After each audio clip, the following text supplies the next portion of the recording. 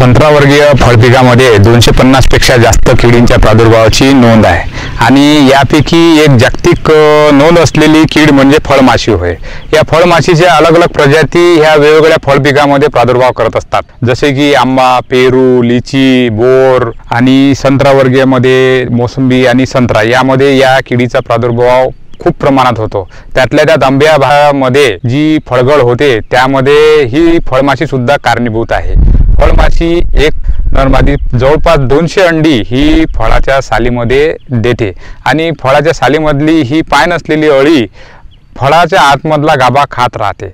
आणि एका फळामध्ये जवळपास दोन ते चार अळ्या आपल्याला कधी कधी दिसून येतात. याच्यामुळे काय होतं की आतला गाभा खात असल्यामुळे फळसड होऊन ही फळगळ होते. जर आपण हातामध्ये असं फळगळ असलेलं संत्र घेतलं आणि ते हाताने दाबलं असता मल्टिपल म्हणजे वे वे वेगवेगळ्या भागातून आपल्याला त्यातून द्रव बाहेर येताना दिसतो. म्हणजे समजून जायचं की ही फळमाशीचा प्रादुर्भाव आहे. मग या फळमाशीचा प्रादुर्भाव रोखण्याकरता आपण कोणत्या उपाययोजना कराव्यात? तर यासाठी सर्वात चांगला उपाय म्हणजे फळमाशीचे सापळे लावणं.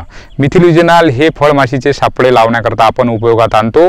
आपण याचे सापळे घरगुतीसुद्धा आपण बनवू शकता. याकरता आपल्याला मिथिलिजिनाल हे रसायन विकत आणणं आवश्यक आहे आणि पृष्ठामध्ये ते बुडून ती असे बिसलरी जी आहे किंवा अशा कोणत्या तत्सम बॉटलमध्ये ती लटकून आपण याचे सापळे तयार करू शकता. आणि हेक्टरी सोळा ते वीस आपण असे सापळे आपल्या शेतामध्ये लावून त्यामध्ये किती प्रमाणात आपली फळमाशी येत आहे हे आपण बघू शकता. तसेच आपल्या भागामध्ये जर काकडीवर्गीय पिकं असते यावर सुद्धा ती फळमाशी सापळे लावणं आवश्यक आहे. आणि त्याचबरोबर जी खाली पडलेले फळं आहेत ती शेतामध्ये न ठेवता ती उचलून मातीमध्ये गाळावीत. कारण यामध्ये काय असतं की त्यांची अळी असते आणि ती तिथेच कोशामध्ये जात असते.